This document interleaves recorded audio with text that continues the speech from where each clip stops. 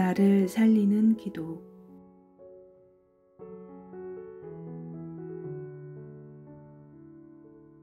성부와 성자와 성령의 이름으로 아멘.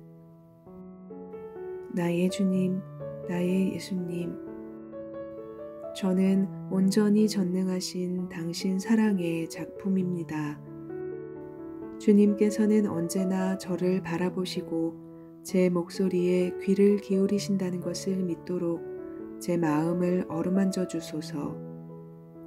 오늘 제가 보고 듣고 만지고 느꼈던 모든 것이 주님의 선한 마음에서 시작되었음을 알아볼 수 있도록 제 눈을 밝혀주소서.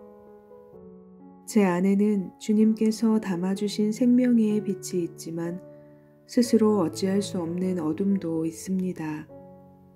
한순간 그 어둠 속으로 걸어 들어가 저 자신을 혐오했거나 주변의 누군가를 무시하고 미워했다면 그리고 주님께 원망의 화살을 돌려 당신의 마음을 아프게 했다면 부디 저를 용서해 주소서.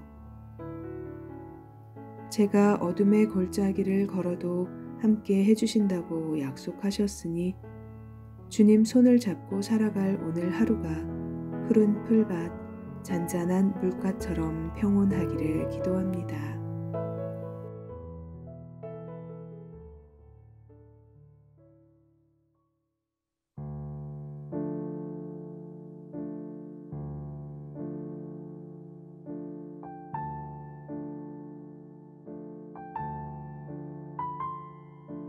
주님, 제 구원의 하느님, 낮 동안 당신께 부르짖고 밤에도 당신 앞에 서 있습니다.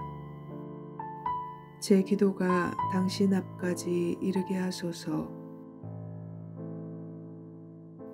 제 울부짖음에 당신의 귀를 기울이소서.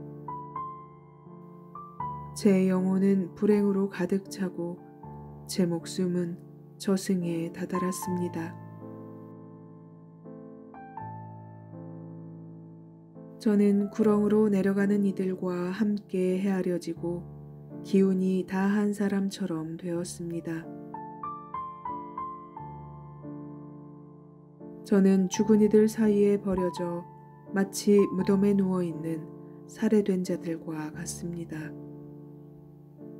당신께서 더 이상 기억하지 않으시어 당신의 손길에서 떨어져 나간 저들처럼 되었습니다.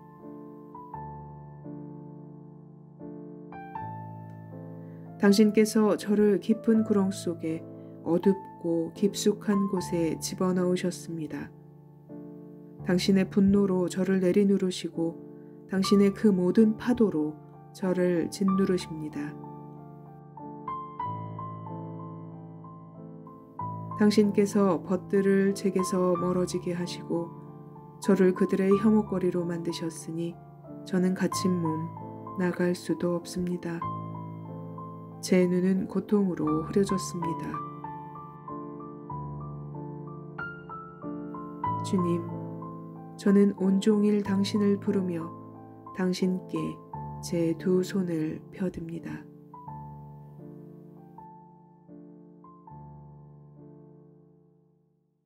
주님, 저는 모든 살아있는 것을 돌보시는 주님의 손길을 굳게 믿고 있습니다만 저 역시도 일상의 고통에서 벗어날 수는 없습니다. 특히 제 의지와는 상관없이 자꾸 약해지는 건강 때문에 마음이 많이 쓰입니다. 저만 느끼는 어려움이 아니라는 것을 잘 알지만 그래도 조금 편안해지고 싶습니다. 아프지 않고 건강하고 활기차게 지내고 싶습니다. 제가 이런 마음이라서 그런지 지인들에게 기도해 주겠다는 말을 자주 하고 약속을 지키기 위해 노력했습니다.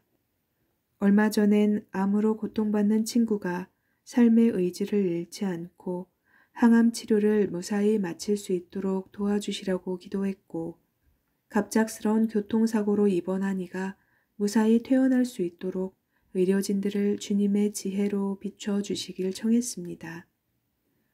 우울증이 심해 자꾸 죽음을 생각하는 동창의 말은 제 가슴에도 칼이 되어 박혀버렸고 공황장애로 겨우 한 정거장 거리를 이동하는 일이 죽기보다 힘들다는 말에 함께 울어주었습니다.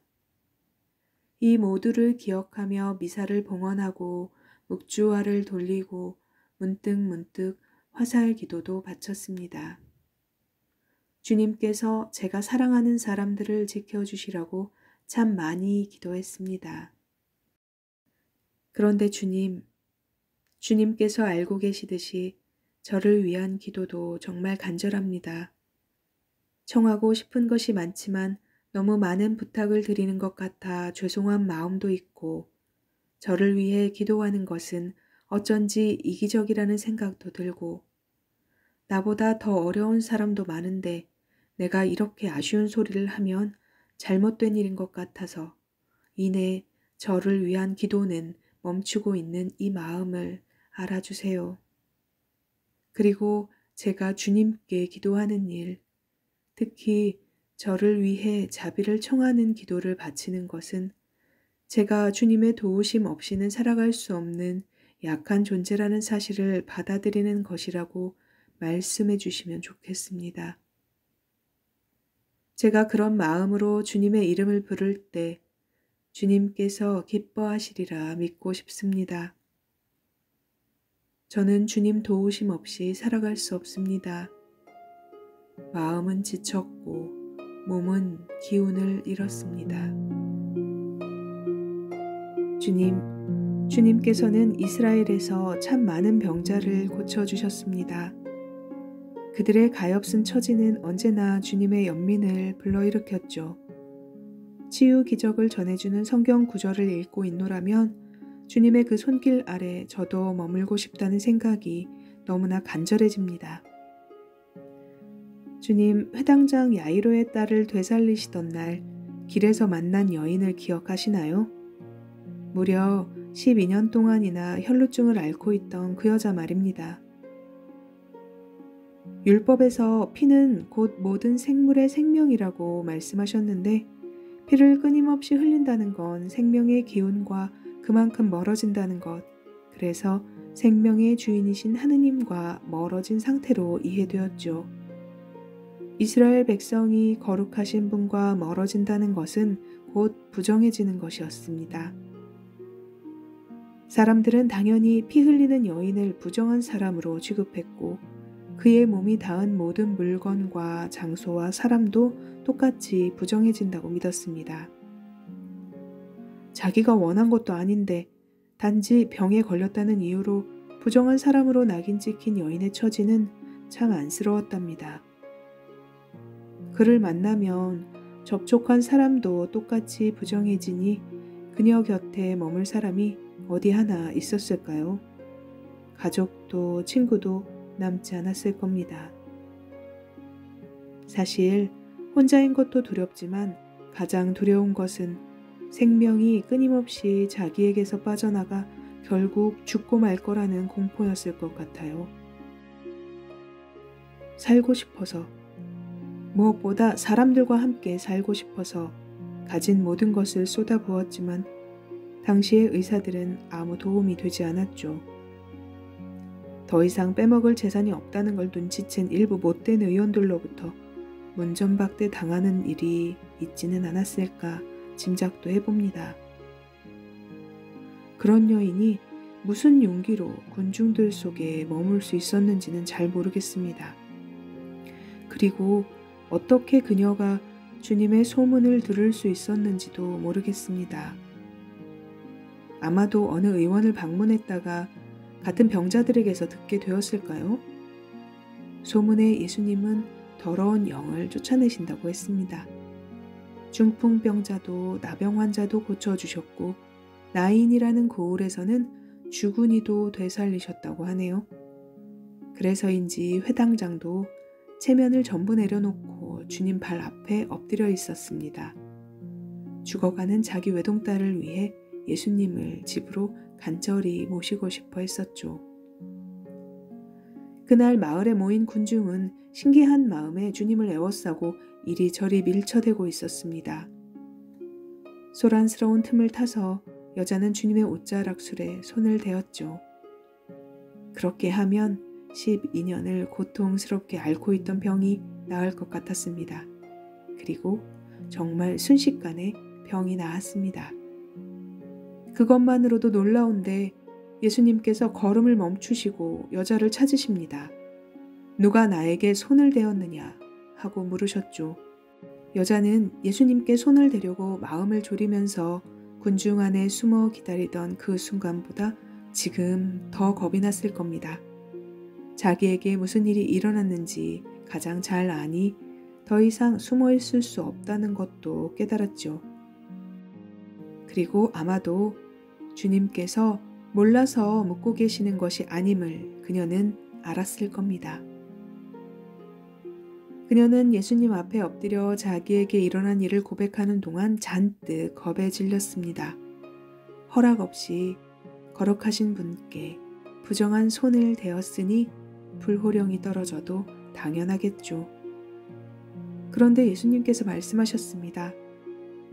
딸아, 내 믿음이 너를 구원하였다. 평안히 가거라.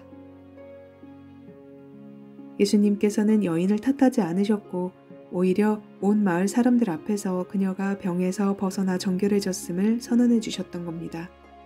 몸의 병만 고쳐주신 것이 아니라 그녀가 다시 자기 공동체 안에서 정상적인 삶을 살아갈 수 있도록 도와주신 거였습니다. 모든 것이 주님의 자비 아래에서 일어난 일이지만 주님께서는 당신의 공이 아니라 그녀의 믿음이 그녀를 구원했다고까지 하셨습니다. 바로 그 말씀에서 저도 큰 희망과 기쁨을 발견하였으니 주님, 저는 오늘 다시 한번 마음을 모아 기도합니다. 주님 옷자락 술에 제 손을 대겠습니다.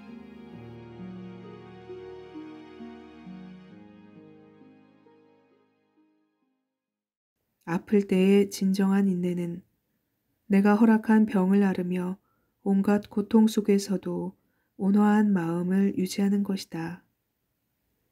이 병이 내 일을 못하게 하지만 않는다면 또는 오래 지속되지 않는다면 이 악함이 병의 일부가 아니라면 두통이 완화될 수만 있다면 다른 어떤 곳에 있을 수 있다면 다른 사람들에게 그렇게 많은 불편을 끼치지만 않는다면 저는 이 병을 견딜 수 있습니다 하고 말하지 마라.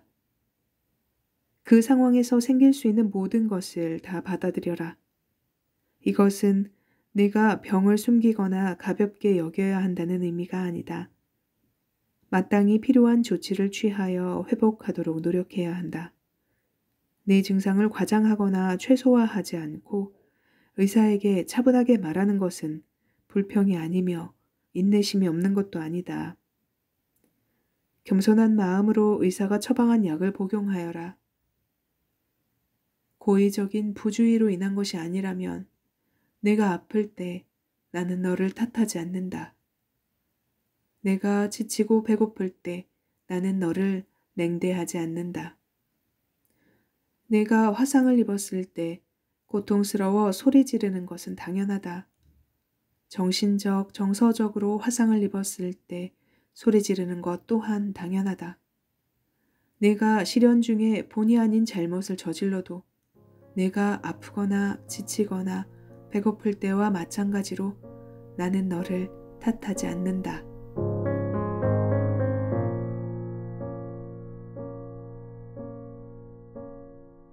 생명의 주인이신 주님께 의탁하며 어느 수녀님이 바친 아픈 이를 위한 기도로 오늘의 기도를 마무리합니다.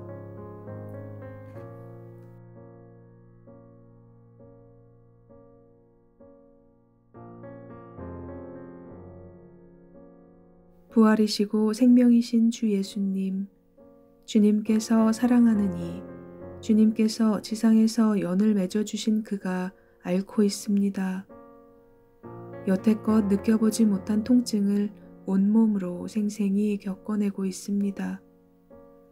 오직 그 홀로 겪고 있는 고통을 주님만이 아시니 주님 그에게 손을 대시어 말씀해 주소서. 내가 짊어진 고통을 주님인 내가 알고 있다고. 외로운 그 길을 내가 십자가를 지고 먼저 걸었고, 이제 너와 함께 고통을 아파하고 있다고. 비록 내 손에 힘이 풀렸어도 내가 내 손을 붙잡고 있으니 걱정하지 말라고. 제가 그를 위해 할 수 있는 것은 기도뿐입니다. 이 간절함을 들어주소서. 병치레가 하루하루 길어지면서 해맑고 희망으로 가득했던 그의 입가에서 웃음이 사라져 갑니다. 그런 그에게 제가 하는 위로는 허공으로 사라집니다. 그러니 주님, 당신께서 그에게 속삭여 주소서. 용기를 내어라. 내 믿음이 너를 살리고 있다. 세상을 이긴 내가 언제나 너와 함께 있다. 그러니 내 어깨에 기대어 숨 쉬고 눈물 짓고 희망하라. 만일 제가 믿음이 없이 기적만을 바란다면 주님, 저에게 아픈 이를 들 것에 싫어 주님 앞에 데리고 왔던 이들이 지녔던 믿음을 더해 주소서. 저의 믿음으로 그가 치유되기를 간절히 바라기 때문입니다. 그리하여 주님께서 말씀하신 것처럼 저와 그가 한 마음 한 목소리로 주님은 진정 하느님, 생명의 주인이시라고 세상에 외치게 하소서. 아프기 전에도 아플 때도 그리고 앞으로도 그의 사랑이신 주님, 지금까지 익숙했던 그의 모습이 낯설고 어색합니다.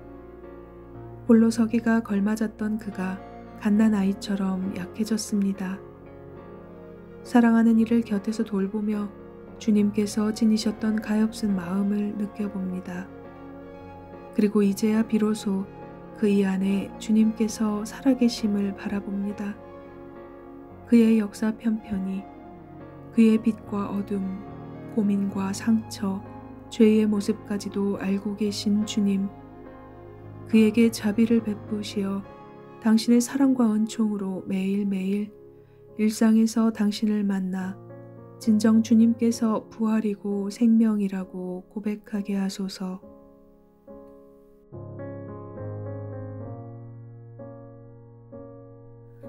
영광이 성부와 성자와 성령께 처음과 같이 이제와 항상 영원히 아멘. 성부와 성자와 성령의 이름으로 아멘.